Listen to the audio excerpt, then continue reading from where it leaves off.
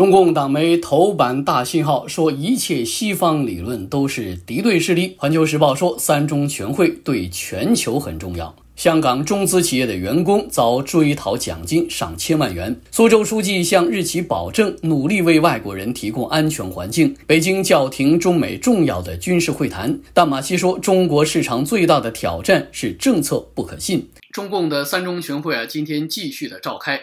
按照中共的日程呢，在七月十八号的时候，三中全会结束闭幕之后啊，官方会发布一个三中全会的公报。到那个时候，外界才知道三中全会它到底谈了些什么东西，会有哪些举措。但是中共官媒呢，作为一个头号的宣传机器，他又不得不报道，因为在这个时候，他如果不报道三中全会，那就犯了政治错误。所以今天中共的一众官方媒体继续的集体发神经。先是中共的党媒《环球时报》发文章，在头版当中说呢，三中全会对全球都有着重要的影响，将为全球未来的发展指明方向。而紧跟着，中共的头号党媒《人民日报》在七月十七号的时候又发文章说，谁要是敢在中共的全面深化改革的道路当中来鼓吹西方价值、西方理论的，那全部都是境外势力。这来自台湾媒体中央社的报道说，中共的二十届三中全会正在北京召开。中共的头号党媒《人民日报》在七月十七号的时候，在头版就刊登了文章，指出全面深化改革的广度与深度前所未有，要做到需要守正。既加强党对改革的领导，不能把西方理论生搬硬套。中共的二十届三中全会从七月十五号到十八号在北京举行，会议的主题为研究进一步全面深化改革，推进中国式现代化问题。而中共的头号党媒《人民日报》在七月十七号的时候，在头版当中就刊登了题为“为全面深化改革提供强大思想武器”的文章。这篇文章就声称，全面深化改革是实现改革由局部探索、破冰突围到系统集成、全面深化的转变，其广度和深度前所未有，难度可想而知。文章又指出，全面深化改革首先要守正。说曾经有一段时期，一些敌对势力和别有用心的人在那里摇旗呐喊，制造舆论，混淆视听。有的人把改革开放定义为往西方普世价值、西方政治制度的方向改，否则就是不改革开放。文章引述了中共的总书记习近平的话，表示这是偷换概念、曲解改革。强调改革开放是有方向、有立场、有原则，并且指出不断推进改革不是为了迎合某些人的掌声，不能把西方的理论观点生搬硬套在自己的身上。该篇文章还指出，守正必须加强党对改革的领导，形容守的是本和根，才能够不迷失方向，不犯颠覆性的错误。认为改革必定要触及到深层次的利益格局的调整和制度体系的变革，必定会面临这样那样的风险挑战。该篇文章还说，最核心的是坚持和改善党的领导，坚持和完善中国特色社会主义制度。偏离这一条，就南辕北辙。报道指出，中共的三中全会在召开之际，中共的官媒刊发了多篇文章，释出对这一次会议的政治和经济的讯息。中共的官媒新华社还刊发了万字特稿，首次称习近平为改革家，并且将习近平比肩开启改革开放时代的中共已故领导人邓小平。这是来自联合早报的信息，表示中共的纪委国家监委主办的中国方正出版社发文透露，说有身为中共党员的大学教授，因为传播躺平、摆烂等一些负能量和错误的观点被处理。方正出版社在星期一，也就是七月十五号的时候，在官方的微信公众号当中发布了传播负能量和错误观点行为认定与处理一文。而上海、安徽、西藏等地的纪检监察机关在第二天相继。的传载了该文文章说，一名身为中共党员的大学法学院的教授苏某，虽然在重大原则问题上与中共中央保持一致，但是在课堂当中多次的鼓吹躺平、摆烂、投机、及时行乐或宣传历史虚无主义等一些野史，曾经被学生投诉，也曾经多次的被教务处约谈，之后被巡视指出。文章表示，苏某向学生鼓吹躺平等一些错误的思想，是不正确履行教学职责的行为，可以依据纪律处分条例来处理。而对苏某宣扬历史虚无主义的行为，如果涉及到否定思想基本原则等一些政治问题的言论，可认定为违反政治纪律。另外，该文章还提到，对违纪行为的取证，需要针对不同违规行为的具体表现，固定相关的证据。例如，苏某主张躺平，需要核实苏某发表观点。的具体动机、发表观点的范围和场合、次数以及后果影响等方面的证据。尤其是要把握情节和后果对产生不良政治影响和严重后果的事实，要注意调取舆情反应、听众评价等等。文章还列举了中国的高校党员干部传播负能量和错误观点行为的表现形式，包括违反国家层面的富强、民主、文明、和谐价值目标，违反社会层面的自由、平等、公正、法治价值取向，以及违反公民个人层面的爱国、敬业、诚信、友善价值准。则等等，其中具体就提到了一些行为，包括对于民主，有的片面理解人民代表大会间接选举，要求扩大直接选举范围，或者推崇西方民主理论；对于自由，有的认为自由是绝对自由，宣扬不自由勿宁死等一些偏激的观点，推崇定居自由、户籍流动自由，西方式所谓言论自由等等。这篇文章出自《高校系统违纪违法行为认定与处理》一书，由方正出版社在今年三月份的时候出版，官方。表示这本书梳理了近年以来高校系统典型的违纪违法案件，既可以作为纪检监察干部执纪执法的参考，又可以作为高校教职员工警示教育和普及法纪的学习材料。根据官方的信息显示，中国的方正出版社是由中共的纪委以及中国国家监委主办的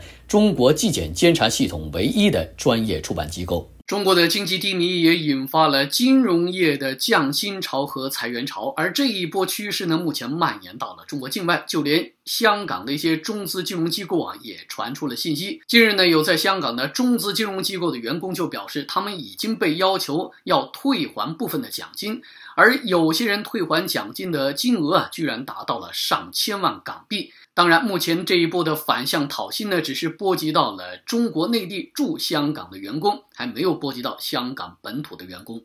这来自台湾媒体中央社的报道说，中国经济表现低迷，波及到了金融业，不但引发了裁员和降薪潮，更是波及到了境外分支机构。有知情人士指出，香港包括光大集团等一些中资金融机构，近来陆续的通知员工要退还已经发出来的部分奖金，有人被追缴的奖金更是超过了港币上千万元。财新网在七月十七号的时候发自香港的报道当中就指出，上述的人士提到，光大集团二零二二年到二零二四年由中共中央巡视组进驻检查期间，旗下的海外金融业务的子公司光大控股就有驻香港的员工被要求退还一部分已经发放的专案奖金，连曾经超出标准的餐费、饭店的住宿费也需要退还，而部分的员工应领的递延奖金更是被直接。的取消了。这名人士透露说，这些被要求退还的奖金以及被取消的递延奖金的数额，依据经手的案件的大小，从港币几千元到超过上千万元不等。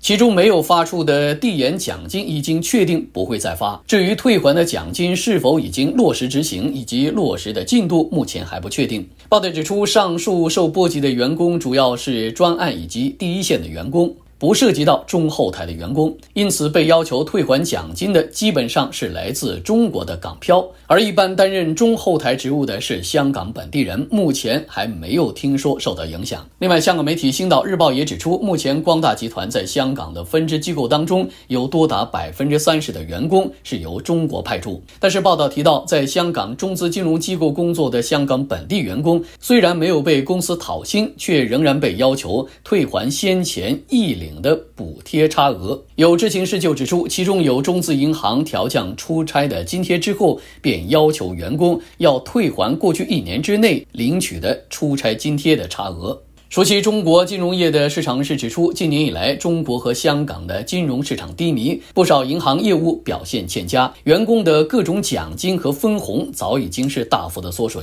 如今，香港中资银行进而向员工追讨过去发放的奖金，具体的方式是用新的绩效标准去衡量员工旧的绩效，如果没有达标的，就要追讨已经发放的奖金。有香港的资深投资银行的业者就指出，他实在难以理解这种反向。追薪的文化，但是未来一旦延烧到了香港本地的员工，也不例外。如今在银行业裁员潮之下，员工为了保住工作，对于被追薪这件事只能够就范，实在是银行业的悲哀。中国经济的低迷，再加上中国社会发展当中各种弊端，导致民怨沸腾，于是呢，社会恶性事件就频频发生。在六月二十四号的时候，在苏州就发生了一起中国男子持刀刺伤了日籍母子的恶性事件。随之就引发了外国企业会不会纷纷的离开中国的猜测和风波。而在七月十七号的时候，苏州官方就发布信息说，苏州的市委书记正式的向日企代表保证，将会努力的给外国人提供安全的居住和营商环境。这来自台湾媒体中央社的报道说，苏州的日侨在六月二十四号的时候遭到了中国籍歹徒行凶之后，中共的江苏省苏州市委书记刘晓涛在七月十六号的时候。会见了日企代表时，就表示苏州将坚定不移地扩大高水平的对外开放，努力为外籍人士提供更加便捷、舒适、安全的环境。苏州市委宣传部的微信公众号“苏州发布”在七月十七号的时候就公布，刘晓涛十六号的时候会见了日本精工株式会社的董事、代表执行役社长兼执行长市井明俊等一行人，并且做出了上述的表示。刘晓涛表示，苏州将坚定不移地扩大。高水平的对外开放，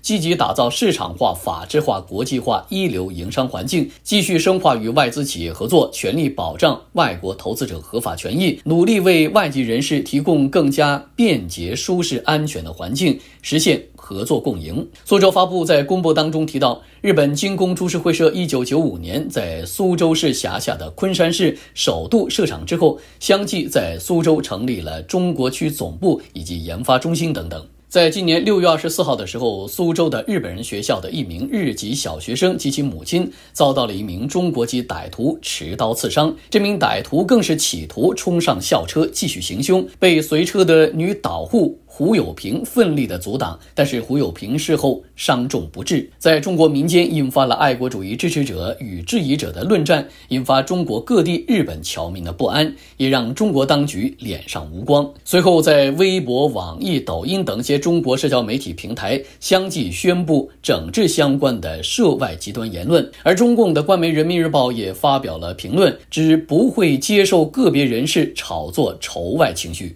今天，中国的外交部又发出了个信息，说要暂停跟美方的重要的军控的磋商。而中国官方给出的理由呢，同样是老生常谈，说一切责任都在美方。这来自台湾媒体中央社的报道说，中国的外交部在七月十七号的时候就表示，中方决定暂停与美方商谈举行新一轮的军控与防扩散的磋商，声称造成这一局面的责任完全在美方，美方需要为对话交流创造条件。去年十一月份的时候，美中曾经举行了军控与防扩散的磋商。根据中国媒体澎湃新闻的报道说，在七月十七号的时候，中国的外交部举行了例行的记者会，在媒体询问个别美国高级官员在不同场合指责中国拒绝与美方举行新一轮磋商，中国外交部的发言人林健做出了上述的回应。林健指出，一段时间以来，美方无视中方的坚决反对和反复交涉，持续对台军售，采取一系列严重损害中方核心利益。破坏双方政治互信的消极举动，严重破坏双方继续进行军控磋商的政治气氛。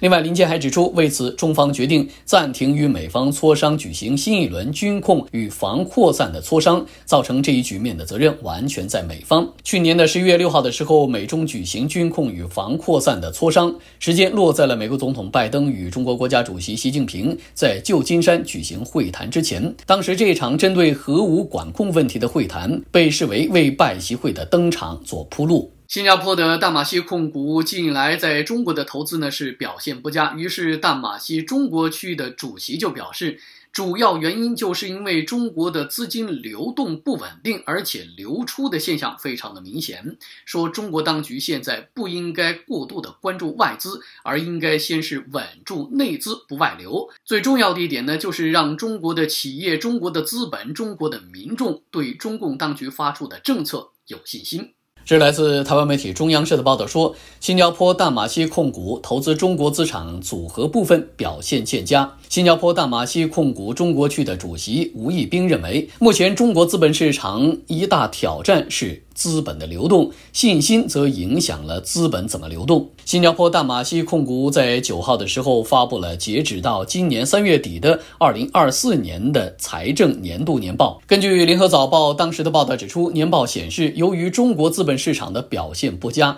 部分抵消了投资组合净值的成长。大马锡投资美洲的比重为百分之二十二，十年以来第一次超过了中国的百分之十九。而中国媒体第一财经在七月十七号的时候就刊载了吴义兵的专访内容。吴义兵认为，中国资本市场目前面临的一大挑战是资本流动。他说，除了地缘风险、经济信心等一些因素之外，又缺乏财富效应，资本流出在这个时候会比较的明显。大家大多关注外资。其实真正需要关注的是内资，也就是长期资本，还有耐心资本。魏兵观察到，从去年以来，印度和日本的资本市场是资本流入最为明显的亚洲市场，几乎全部是本土资金支撑上涨。由于财富效应，外资基金在跟进，不过比重较小。另外，它也说明，所谓的财富效应指的是哪儿有钱赚，资金就往哪儿流。资本流动又受到信心影响较大，信心反过来也会影响到资本的流动。例如，目前中国市场允许保险资金配置的股票比例上限达到了百分之四十以上，而现在实际的投资比重却远远低得多。